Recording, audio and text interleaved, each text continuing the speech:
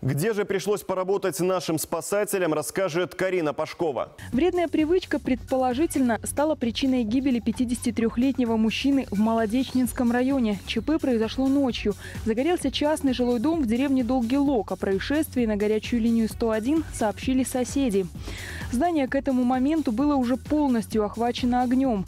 Тело хозяина обнаружили на диване в одной из комнат.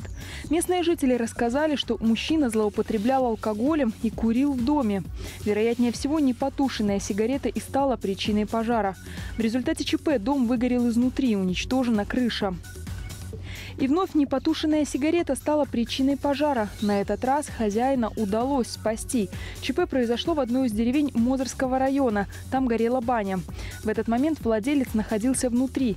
Спасатели вынесли мужчину на свежий воздух и передали медикам. Пострадавшего госпитализировали с диагнозом отравления продуктами горения.